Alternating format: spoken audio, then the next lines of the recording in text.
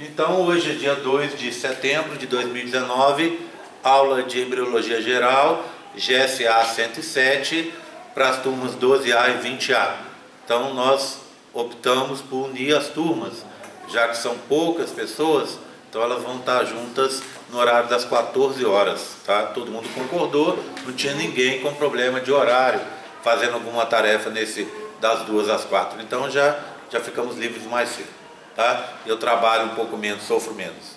Então, o que que acontece? Eu vou continuar mostrando para vocês, tá? Nós paramos na telófase, né?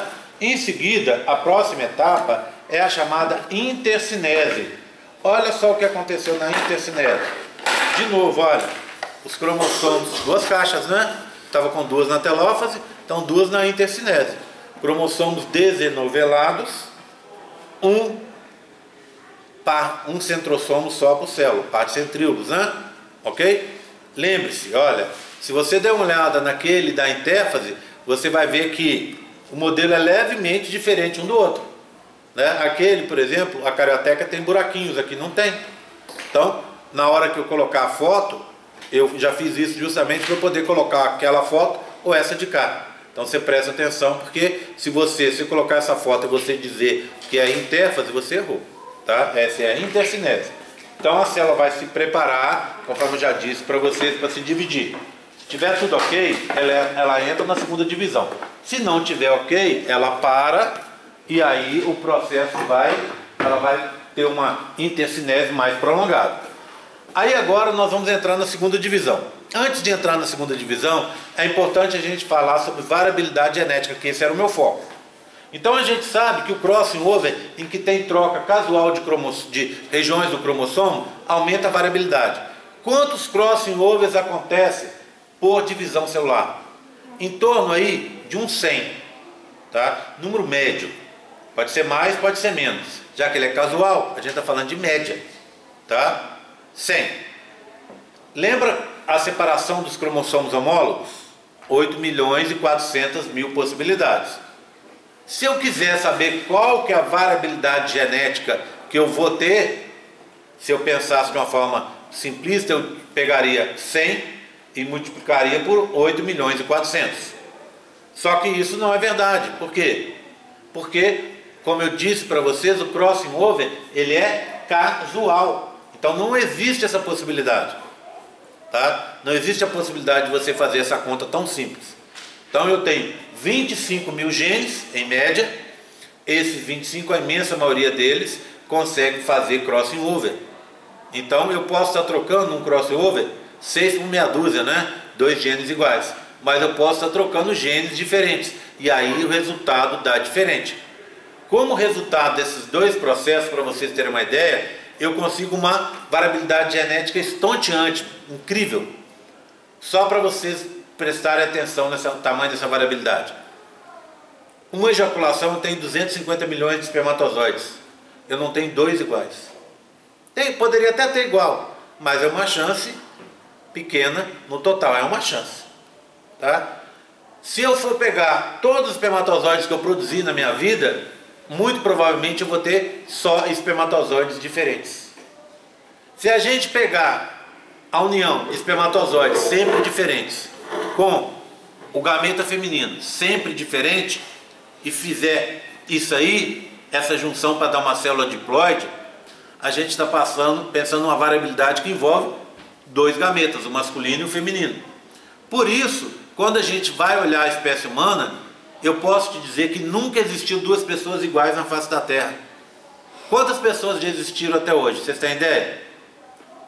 Hoje nós temos é, indo para 7 bilhões, não é? Na face da Terra, de seres humanos. Se a gente for pensar em todo mundo que já nasceu e morreu desde o nascimento da humanidade, desde o surgimento do ser humano, a gente vai dizer que, que é razoavelmente até recente, a gente tem uma extrapolação aí que já existiu hoje de 2 a 3, até hoje, 2 a 3 trilhões de pessoas. Essas 2 a 3 trilhões de pessoas, devido à variabilidade genética que vem do espermatozoide, que se junta com a variabilidade genética que vem do gameta feminino, você vai ter provavelmente 3 trilhões de pessoas diferentes. Portanto, se eu for conversar com você, olhar o seu caso, eu posso te dizer que seguramente você é um experimento único da natureza. Por quê? Porque não existiu ninguém igual a você, nem vai existir. Aí você vai pensar, ah, Jerry, mas isso aí, seu raciocínio está errado. E os gêmeos idênticos, os que a gente chama de gêmeos homozigóticos? Esses gêmeos, na realidade, eles têm o mesmo material genético, é verdade? Se você pegar e fizer um teste de DNA de um e do outro, vai dar exatamente igual, porque eles têm o mesmo material genético. Portanto, se um gêmeo cometeu um assassinato e deixou DNA ali, deixou sangue, por exemplo, tecido, etc., o que, que vai acontecer? Não dá para a gente saber se foi ele ou se foi o irmão dele. Não é? Agora, se diferente disso, a pessoa, sabendo que o cara tem um irmão gêmeo, ela pegar a amostra de tecido que está ali e fizer um perfil proteico, dá diferente. Por quê? Porque as proteínas são produzidas de acordo com o ambiente, com pressões ambientais. Do mesmo jeito, se você pegar a, as digitais do assassino ou a marca da íris de um e do outro, são diferentes. Por que, que são diferentes? Porque essas coisas dependem do ambiente. E é esse ambiente que muda de uma pessoa para outra, faz com que, na realidade, eles tenham o mesmo material genético, mas a expressão do material genético seja diferente. Então, um expressa de um jeito, outro expressa do outro. Então, eu vou reformular aquela frase que eu falei. Não existem duas pessoas iguais no mundo, mesmo que elas sejam gêmeos idênticos, uma vez que a expressão desses genes é diferente numa pessoa e na outra. Por exemplo, você tem um gêmeo idêntico aqui. O outro gêmeo não está aqui, está em outro lugar. A pressão ambiental que esse gêmeo tem que está aqui é uma, do irmão dele é outra. E pressões ambientais levam a expressões diferenciais de proteína. Portanto, vão ser pessoas que vão ter no final das contas a mesma biblioteca com os mesmos genes, mas vamos dizer assim, entre aspas, livros sendo lidos de forma diferente. Ok? Tudo bem? Então, isso é bacana, né? naquele dia que a gente está se sentindo de baixo astral, pensar que nós somos um experimento único, que não existe ninguém igual a gente. A gente com as nossas qualidades e com nossos defeitos, nós somos únicos. E isso acaba sendo extremamente bacana. Por outro lado, olha que interessante. Se você for olhar, na realidade, o que torna nós diferentes um do outro está em torno de 2 a 3%. Então, eu tenho 97% de igualdade com vocês e só 3% diferente. Eu tenho 3% de características de coisas que estão no meu corpo que são diferentes de vocês. São minhas, que me tornam especial, vamos dizer assim. E no restante, eu sou igual. Aí, por outro lado, quando a gente pensa em igualdade, essa igualdade, a gente pode dizer o seguinte: que não, não existe essa história de preconceito é absurdo. O que é um preconceito? É você ter um conceito prévio sobre alguém. Quando você tem um preconceito, por exemplo, eu vou ter um preconceito contra mulheres, acho mulheres inferiores. Vou ter um preconceito contra homossexuais, acho eles piores do que eu. Vou ter um preconceito contra negros, acho eles piores do que eu. Quem pensa assim, se esquece que eu sou exatamente igual a esses três tipos de, de pessoas que eu citei aqui. De você para o homossexual, se você não for, a diferença está em menos de 3%. E se eu falar para você, ó, Samuel, encontrei o Samuel aí nas férias e falei com ele, Samuel, faz embriologia esse semestre, eu fiz um cálculo aqui, você vai ter 97% de chance de passar. Ô gente, 97% é praticamente certeza, não é? Não é verdade? Então, assim, se eu falar que você é 97% igual a outra pessoa, você é praticamente igual, quase totalmente igual a ela. Então, essa história de tratar os outros com preconceito, porque eles pensam diferente de você, têm opção sexual diferente de você, são de sexo, religião, time de futebol, seja o que for diferente do seu, é tudo absurdo. Porque na realidade, Isso aí está dentro daquele, vamos dizer, daquele só 3%. E 97% do, da, das, do, do que você for olhar, você é igual àquela pessoa. Portanto, aí, a gente pensando assim, a gente, de certa forma, desmistifica essa história de preconceito. Né? Para com isso, que é uma coisa que, infelizmente, existe aí e que não leva ninguém para frente. Não leva a pessoa que sofre e muito menos a pessoa que aplica o preconceito contra os outros. Não é? Tá? Então, quem pensa isso, preconceito de qualquer forma, às vezes a gente tem um preconceito por causa da nossa criação, causa de um medo que a gente tem, sei lá, né? Lá fora, por exemplo, o pessoal tem muito medo de estrangeiro, que vai tomar um emprego, etc, etc, etc, vai tratar uma pessoa de forma inferior porque ela não é do país deles. Isso é absurdo. Porque na realidade é todo mundo igual. Todo mundo 97% igual. E só os 3% que nos tornam diferentes e realmente especiais como nós somos. Então, por um lado, vocês viram o que, que eu fiz? Eu olhei os 3% e falei, oh, você é único, aproveita isso. Ninguém vai ser igual a você nem seus filhos, nem seus netos, ninguém. Você é uma experiência única. Por outro lado, eu penso, você, na maioria dos, do, do, das suas coisas, você é igual a todo mundo. E aí, o que acontece? Para com os preconceitos. Não é verdade? Tá? Podemos seguir? Bem, então agora eu vou passar para a segunda divisão. Agora eu sou de duas caixas de cada vez, tá? Só que na primeira, eu na realidade eu vou ter quatro caixas.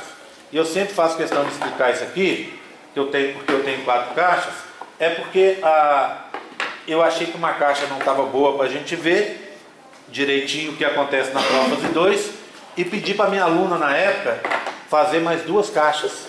Então as primeiras são essas duas aqui, ó. Olha aqui, ó. Diferente do, da intercinese que eu vi, agora eu já tenho os cromossomos enovelados, tá vendo? um representante de cada par. Saúde. Eu só tenho ainda um par de cinetócoros, tá vendo? Desculpa, um par de, de centrossomos aqui, tá vendo? Um par aqui e outro aqui. Ainda não se duplicou, não é? Aí eu achei que isso aqui estava pouco representativo. Aí eu pedi para a menina fazer outra caixa e ela fez para mim uma caixa assim, duas caixas assim. Duas caixas para demonstrar os outros eventos da prófase 2. Então vou deixar isso aqui e vou pegar o de cá, ó, prófase 2. Olha o que aconteceu depois daquilo que vocês viram. A membrana nuclear, a carioteca se desfez, tá vendo, ó? E eu tenho o que? Uma duplicação dos centrossomos, do par de centríolos. Um foi para uma extremidade e o outro foi para outra, tá? Então, é, o filminho começa naquelas duas e passa para cá. Ok? Tudo bem? Então, prófase. Voltando, prófase 2. Como é que eu sei que isso é prófase 2 e não é prófase 1? Um? Duas cores. É um cromossomo principalmente amarelo e outro principalmente verde. Do outro lado, um principalmente azul e outro principalmente laranja. Bem, prófase 2. Prometáfase 2. São aqueles cromossomos que vão estar ligados às fibras do fuso, mas que ainda não chegaram na placa equatorial, não é? Se eu der uma olhada então na prometáfase 2, olha aqui.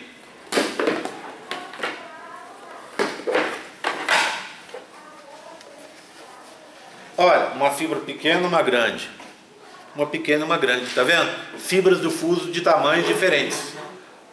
Eu tenho duas cores aqui, azul e laranja. Aqui verde e amarelo. Se eu tivesse quatro cores, para metáfase 1. Como eu tenho duas cores em cada caixa, para metáfase 2. Tá? Duas cores, fibras do fuso de tamanhos diferentes, para metáfase 2. Tudo bem, tranquilo? Guardaram isso? Vou cobrar lá na prova, hein?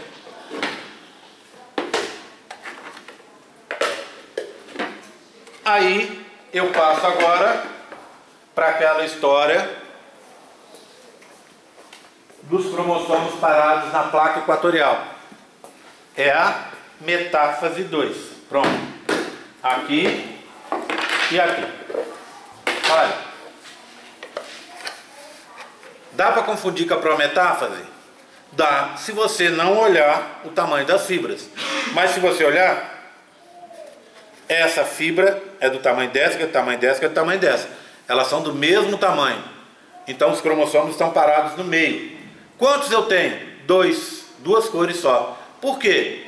Porque eu tenho um representante de cada par. Então qual que é o homólogo desse? É o amarelo, que está na outra célula. Qual é o homólogo do azul? É o verde, que está nessa célula de cá. Tá? Tudo bem? Dá para confundir com a metáfase 1? Só se você quiser. Metáfase 1. Olha, quantas cores? Quatro cores. Quantas cores em cada caixa? Duas.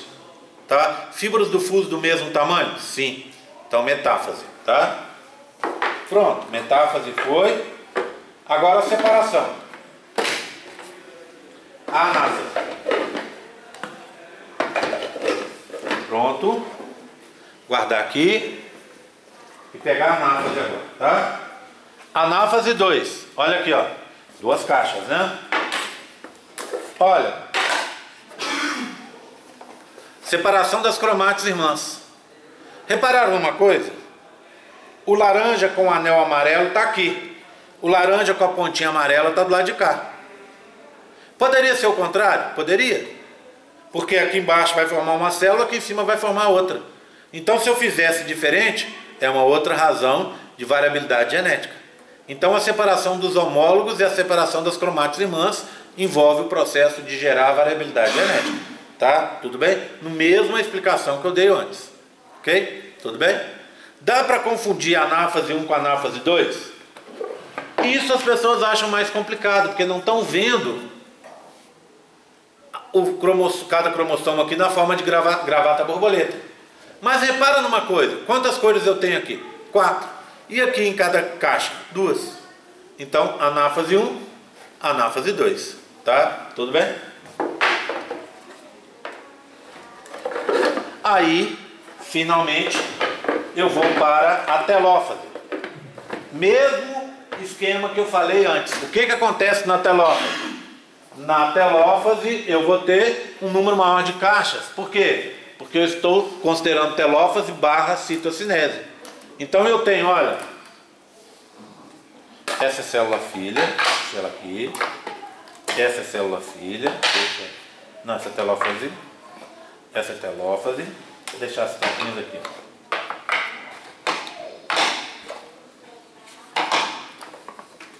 O que aconteceu?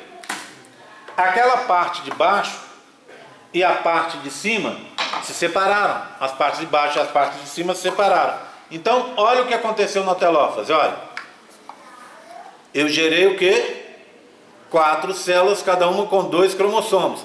Cada cromossomo com uma cromate irmã só. Tá vendo? Tá? Então, olha aqui. Esse é azul com laranja. Cadê o outro azul com laranja? Está aqui em cima outra parte dele, tá vendo? E como eu disse para vocês, eu poderia ter esse laranja aqui e obviamente esse laranja do lado de cá, gerando variabilidade genética. Vê que as cromátides são diferentes. Pronto. Gerei quatro células filhas diferentes. Agora, deixa eu mostrar para vocês como é que vão ficar essas células filhas no final. Pronto. Olha aqui, ó. Quatro células filhas diferentes. Tá vendo? Uma diferente da outra, gerando células através da meiose diferentes entre si, gerando variabilidade genética. Se a gente está falando de espermatozoides, seriam quatro espermatozoides diferentes. Se a gente for olhar outra divisão celular, a, o crossing over, a separação dos homólogos, a separação das cromátides vai ser diferente. E aí eu vou gerar o que? Células diferentes no final das contas. E assim no final eu vou ter sempre células diferentes. Tá bom? Tranquilo? Tá? Então isso é o que me interessa. É você pensar em coisas que você sabe, eventos da meiose, pensar neles como geradores de diversidade genética. Ok? Tudo bem? Tranquilo? Tranquilo com isso?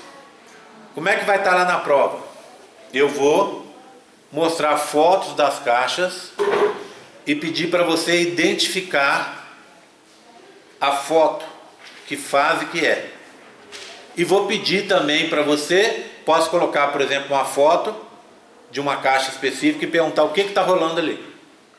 Tá? O que, que acontece de importante ali.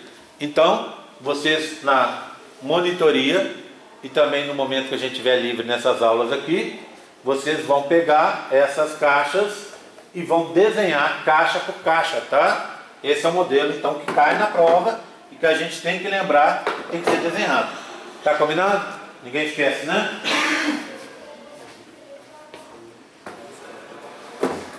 Vou aproveitar e guardar aqui de uma vez. Já facilita a minha vida aqui.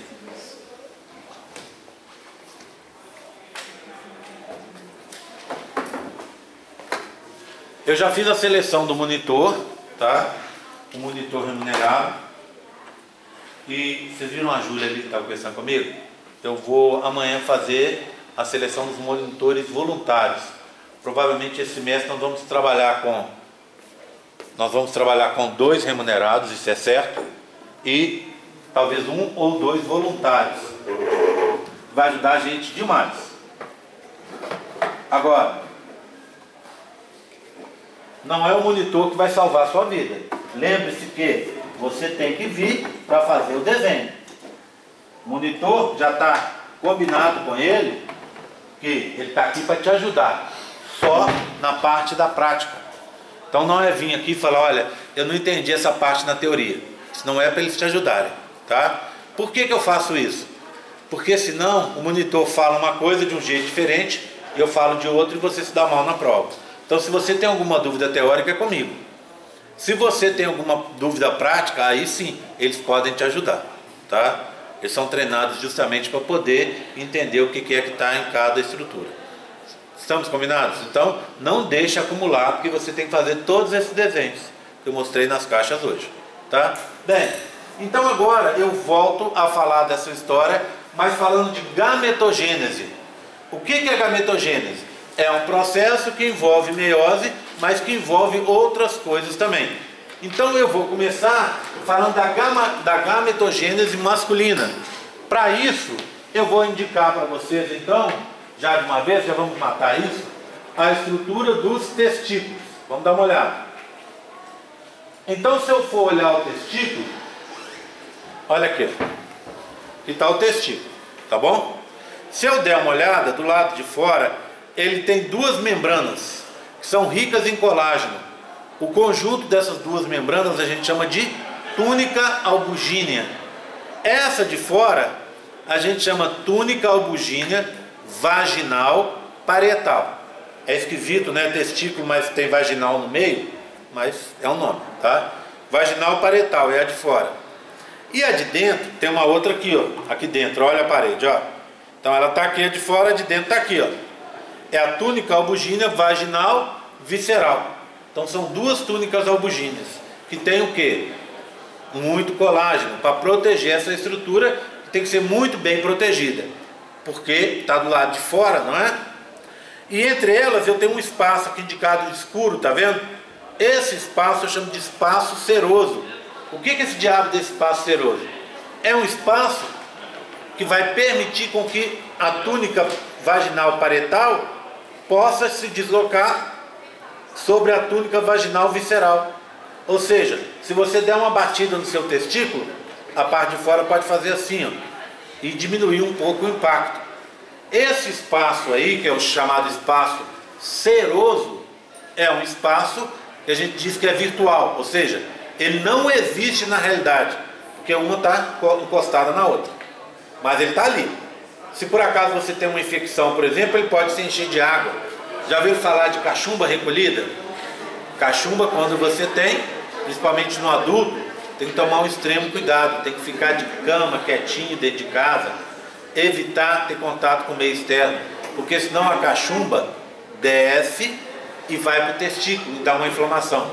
Quando a, toda inflamação acumula água, né?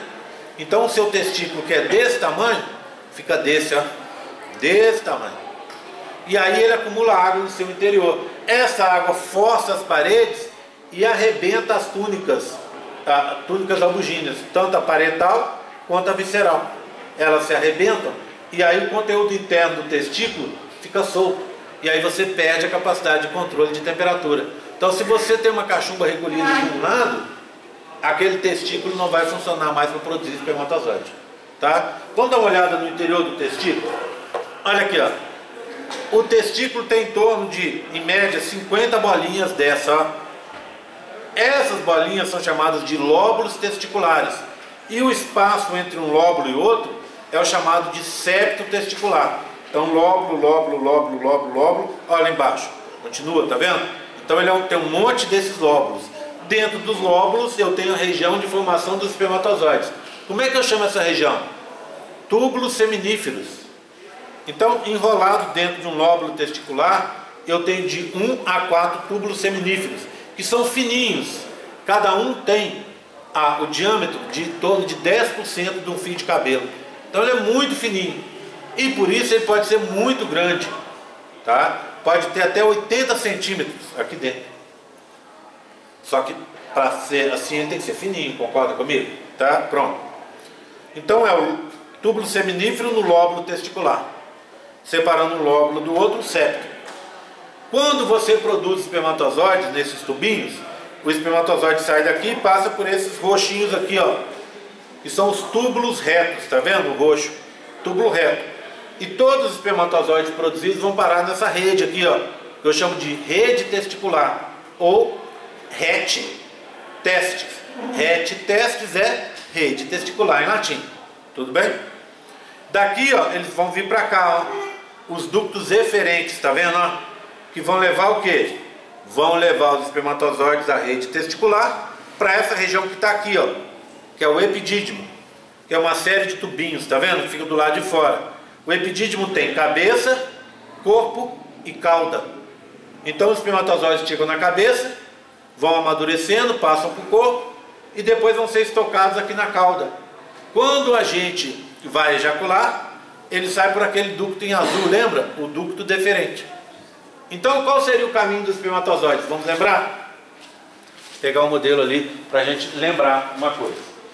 E para reforçar uma coisa, que eu não sei se eu falei na última aula, então preciso reforçar aqui. Então, começando daqui, ó. Os espermatozoides são produzidos nos túbulos seminíferos, vão para os túbulos retos, rede testicular, rete testes, ductos, são 6 a 8 para o testículo, ductos referentes que vão levar os espermatozoides da rede para o epidídimo.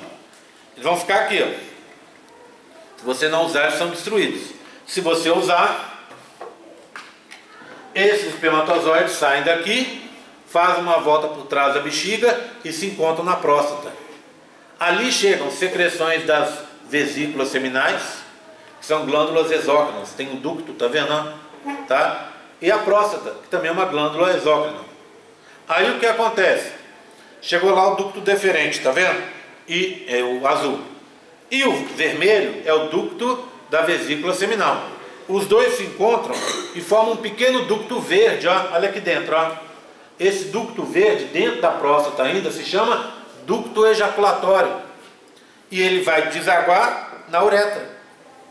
Tá? Essa uretra segue pelo corpo esponjoso até a cabeça do pênis. Tudo bem? Tranquilo? Tá? Vou perguntar isso lá na prova, hein?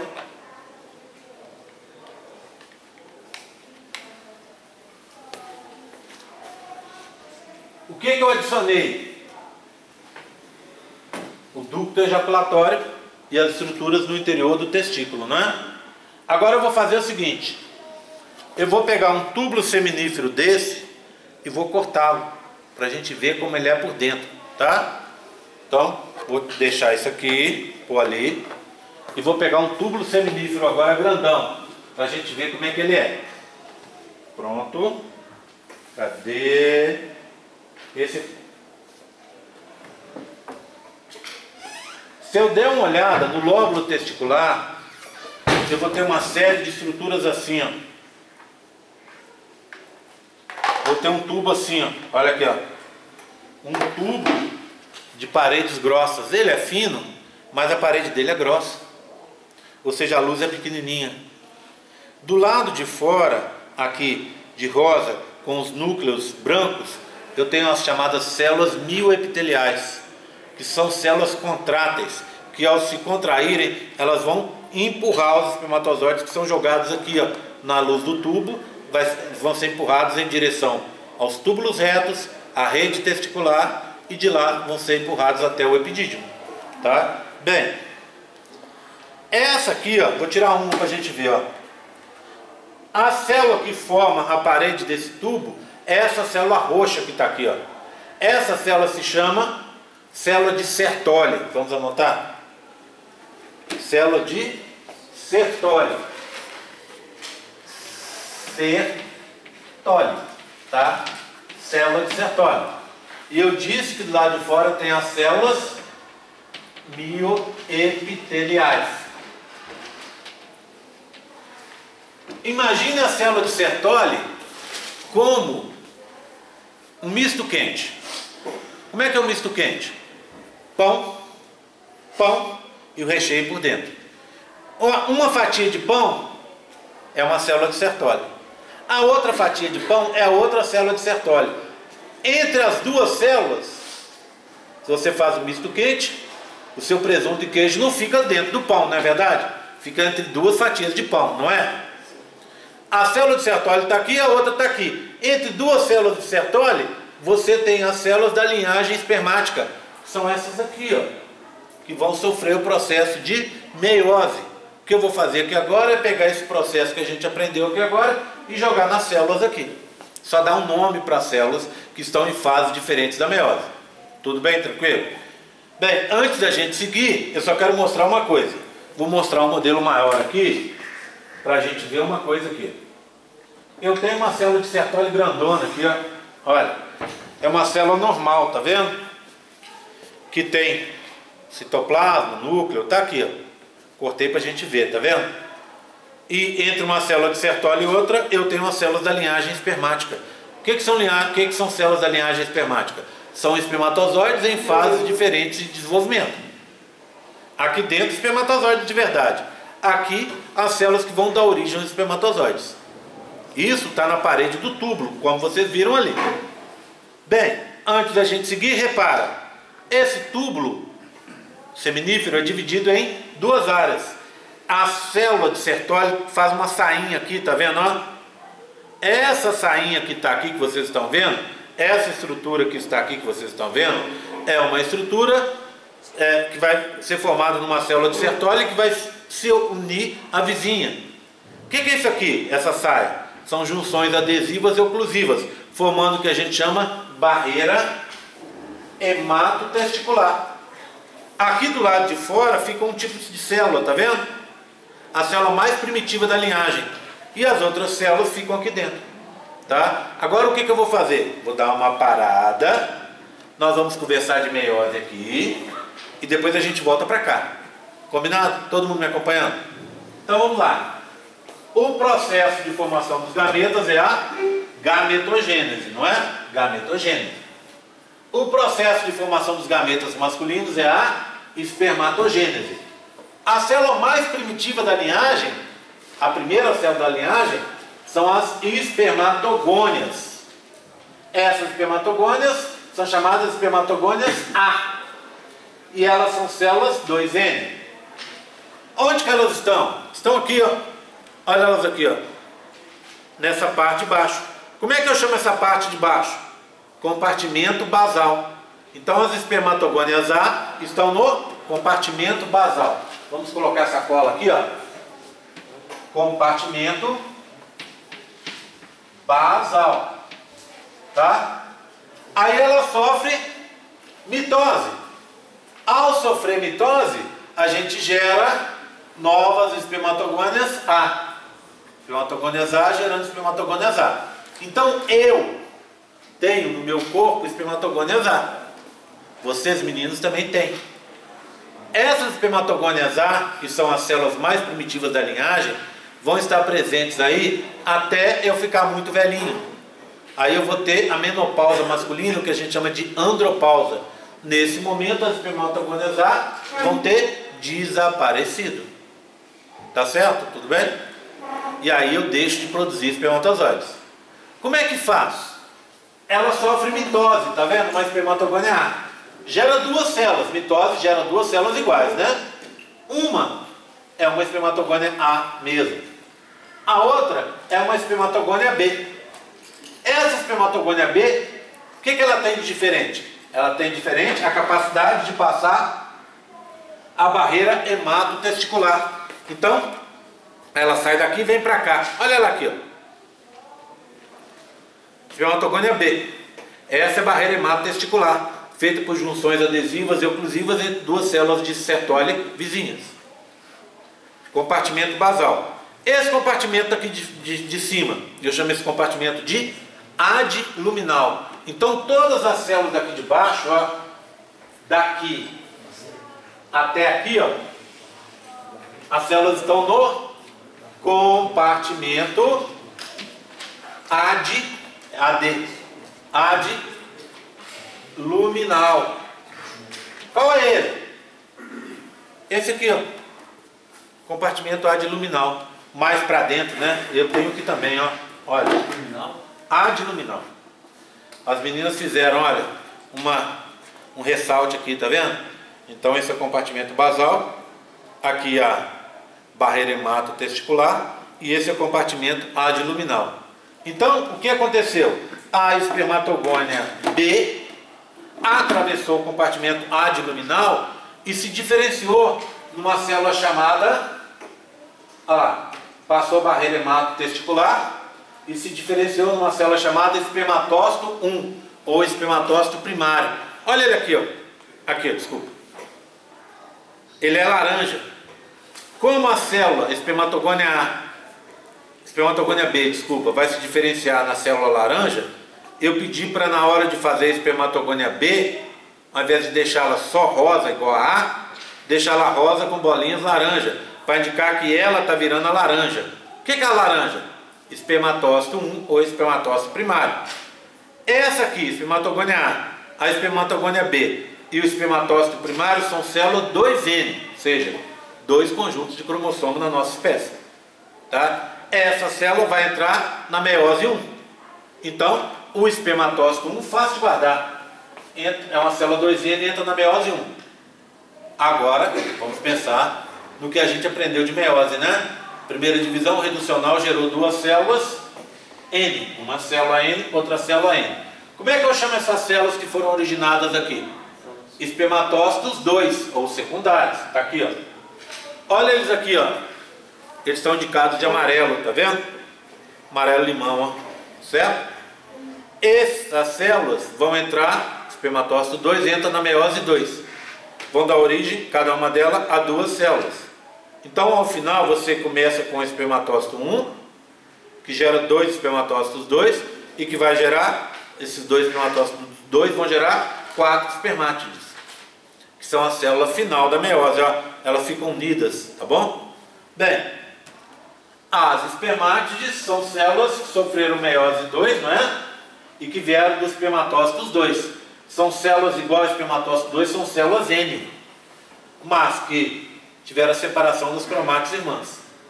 Essas células vão sofrer um processo de diferenciação que também vai ser orientado e feito pela célula de Sertoli, que é a espermiogênese. O que é a espermiogênese? é a transformação da espermátide em espermatozoide. Ou seja, a espermátide vai perder citoplasma, vai ficar com um núcleo condensado, que a gente chama de picnótico, não é isso? Vai é, ganhar cauda, vai perder citoplasma, núcleo condensado e formar o acrossomo, aquela capuz que fica na frente da célula que vai servir para ela fazer a fecundação. Tudo bem, tranquilo? Tá? Então, essa é a parte masculina. Eu não fiz nada demais aqui. O que, que eu estou fazendo aqui? Eu estou indicando para vocês a estrutura e dando nome para as coisas. Ao invés da gente falar na parte masculina que uma célula entrou na meiose 1, eu vou falar que o que? O espermatócito 1 entrou na meiose 1.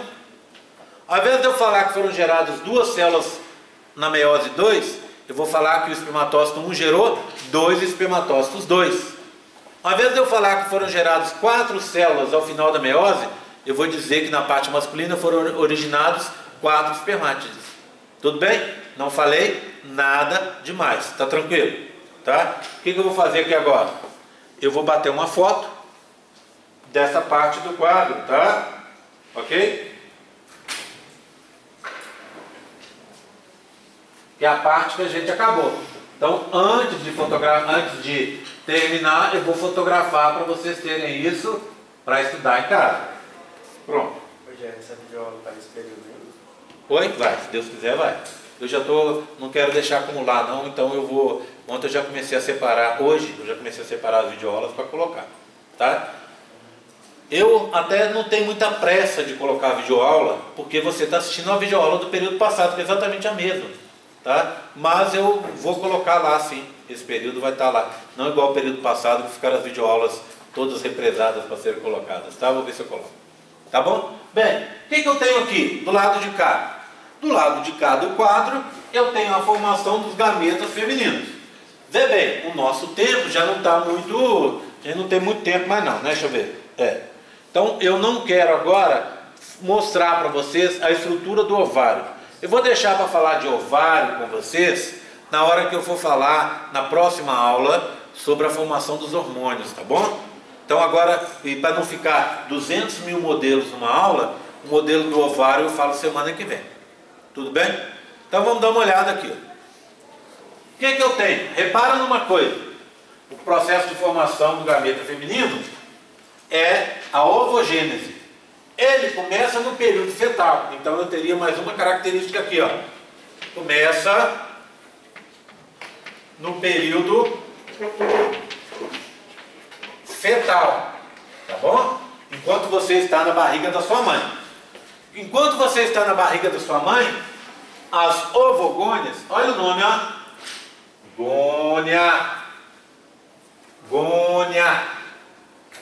São as células tronco iniciais.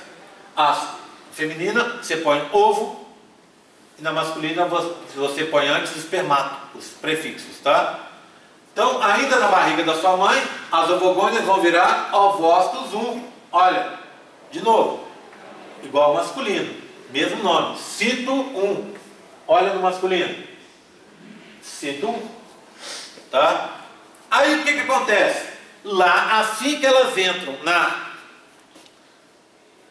Elas se transformam em ovócitos 1, elas vão parar na prófase 1. Essa parada, eu chamo ela de dictiótero.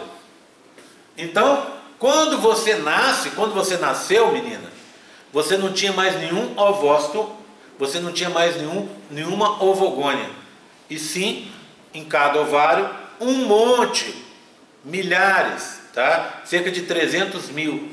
Você tem ovócitos 1 parados, numa parada que a gente chama dictiótono. Cuidado, hein? As pessoas confundem. Lembra das fases da prófase 1? lesípade de leptóteno, zigóteno, paquíteno, diplóteno e diacinese. Essa parada se dá entre o diplóteno e o paquíteno. Tá? Exatamente aqui que vai acontecer a parada, ou seja, fase da prova, etapas da prófase 1. O nome da parada é um nome estranho, dictiótano. Tá? Tudo bem?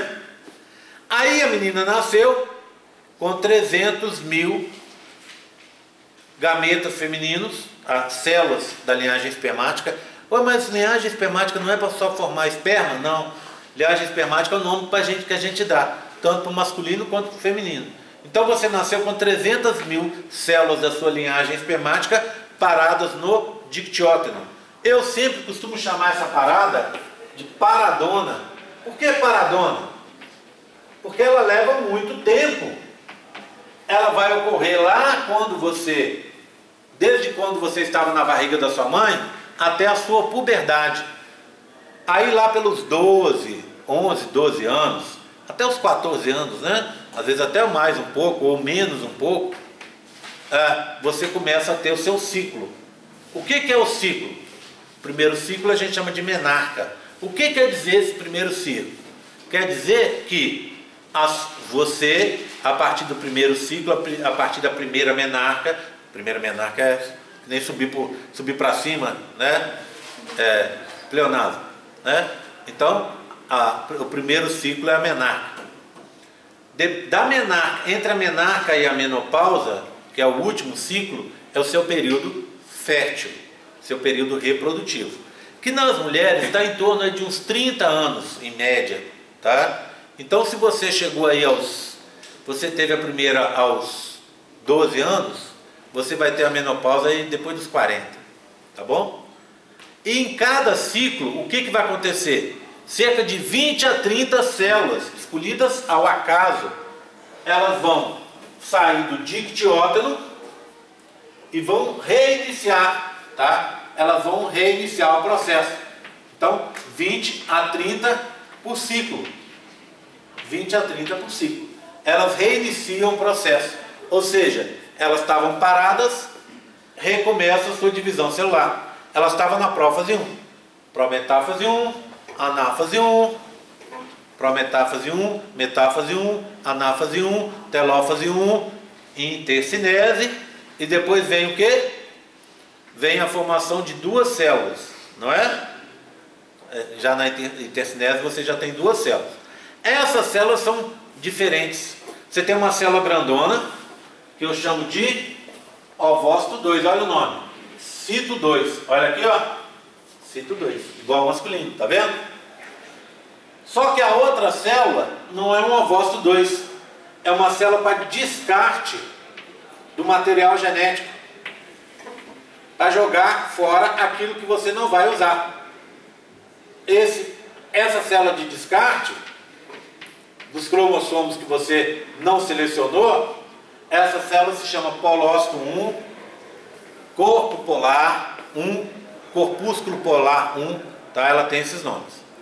Então o que acontece com essa célula? É uma célula só para descarte do material genético, para jogar aqueles cromossomos que você não usou, não separou no ovócito 2. Aí o que acontece? O ovócito 2 entra em intercinese, depois prófase 2, prometáfase 2 e para de novo na metáfase 2. Essa parada, eu chamo ela de, aqui é paradona, eu chamo ela de paradinha.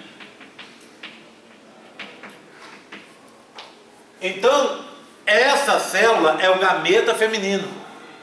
O gameta feminino é o que? O ovócito 2 parado em metáfase 2.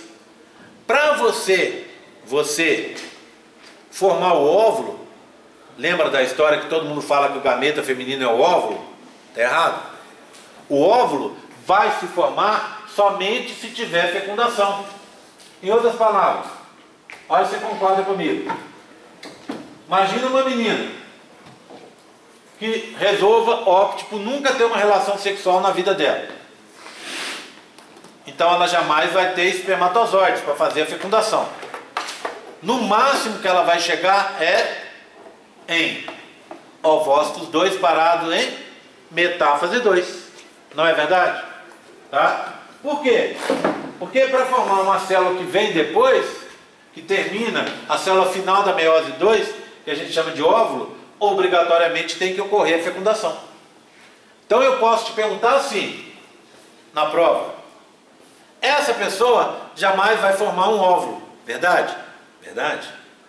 Essa pessoa jamais vai formar um ovócito 2 em anáfase 2. Verdade? Por quê? Porque a anáfase 2 vem depois da metáfase 2. Então tem que ter fecundação para ter, para o processo seguir. Então, olha, confira comigo. Ó, tem duas paradas, paradinha e paradão. Só termina se houver fecundação. Olha o que aconteceu na fecundação. Formou um óvulo, que é uma célula única, grande, e mais uma célula de descarte de material genético mais um polócito, agora o polócito 2. Então eu posso colocar aqui uma outra coisa. Só se forma uma célula. Ai, como é que eu vou. Que palavra que eu vou usar, hein? É uma célula que vai seguir o desenvolvimento dela. Como é que eu vou? Uma célula. Vamos dizer, nada é bem isso, vamos dizer assim, uma célula que vai continuar seu desenvolvimento no final, tá? Vamos colocar assim. Que na falta de uma palavra só, vamos escrever a frase, né? Irá continuar a se desenvolver. Essa célula é o que? O óvulo. Não é o óvulo? Tá? Então, duas paradas, no dictiódeno e na metáfase 2. Só termina se houver fecundação. Formam-se células com volumes diferentes. Ou seja, o ovócito 2 é gigante, o polócito 1 é uma célula muito pequenininha. É só um pouquinho de citoplasma com o núcleo, para você estar tá jogando fora o núcleo, com o material genético que você não vai usar. Você forma, ao final, de novo, um óvulo, que tem a maioria do citoplasma e as organelas e tal, e um polócito 2, que permaneceu também para descarte de material genético. Então o descarte vai ser aqui, e o descarte vai ser aqui. Tá? Então, células com volumes diferentes. O processo é cíclico, né? Diferente de nós meninos que produzimos espermatozoides sempre, as meninas têm um processo que está em fases diferentes ao longo do seu ciclo menstrual. Então, é um processo cíclico, que começou no período fetal e que vai gerar ao final só uma célula vai continuar a se desenvolver, que é o óvulo. Ok? Tudo bem? Tranquilo? Viram então que o processo feminino é um processo igual ao masculino, mas com características específicas?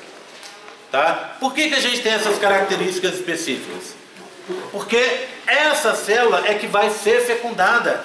Então ela está ali esperando o gameta masculino. Então essa célula, ela, é, ela não tem movimento próprio. Ela é o alvo que vai ser perseguido pelo, pelos espermatozoides. Então nós meninos produzimos grande quantidade de espermatozoides, enquanto a menina por ciclo produz um só ovócito 2. Repararam numa coisa? Como é que se chama o gameta masculino? Espermatozoide. E o gameta feminino? Aquele que vai ser fecundado? Ovócito 2. Então chamar o gameta feminino de óvulo está errado. Na espécie humana não é assim. Em outras espécies pode até ser, mas na espécie humana não. Então, a menina, aquela história que vocês falam, ai, eu estou, ai, bem, eu estou ovulando hoje. Você vai ficar mais chique ainda. A partir de agora lá na República você vai falar com as suas coleguinhas. Ai, estou ovocitando hoje. Meu ovócito 2 está aí, eu tenho que tomar cuidado com ele. Imagina, hein? Você vai mudar de status social lá dentro da República, todo mundo vai chegar para você e falar assim, oh, né? Porque agora você sabe uma coisa que ninguém sabe. Tá? Tudo bem? Então o gameta, brincadeiras à parte, o gameta feminino é o ovócito 2, parada em metáfase 2. É ele que vai ser fecundado ou não. Se for fecundado, segue o desenvolvimento embrionário. Se não for, acabou. Ciclo seguinte tem outro. Ok? Combinado? Ah, e o processo de ovulação? Agora a gente vai chamar de ovocitação. Ovulação é liberação do óvulo. Como você está liberando o ovócito 2, você vai passar a chamar de ovocitação. Vamos pensar lá na escola que você estiver dando aula. Você pode até explicar para os meninos isso, mas uma coisa é a linguagem popular. A linguagem popular, inclusive, que é a linguagem que está nos livros de medicina, eles chamam essa célula de óvulo e o processo de ovulação. Então você vai passar o resto da sua vida ouvindo gente falar ovulação. Mas no seu íntimo você vai saber, não é ovulação, é ovocitação. Aí quando a pessoa fala ovulação, você dá aquele sorrisinho de canto de boca né, e deixa quieto. Tá bom? Então assim, entenderam? Tá? Entenderam as características femininas e viram como elas tornam um processo diferente do masculino? Tá tranquilo? Tá? O que, que eu vou fazer na próxima aula? Vocês viram que hoje a gente tinha muita coisa para falar, né? Ah, na próxima aula eu vou, se não na próxima, na seguinte, eu vou mostrar o ovário, para a gente ver a estrutura interna, para a gente ver como esses gametas na realidade estão. como o gameta feminino se desenvolve no interior do ovário, para vocês entenderem um pouco mais o processo. Estamos combinados? Chamadinha? Dúvidas? Tranquilo? Tá. Vou desligar.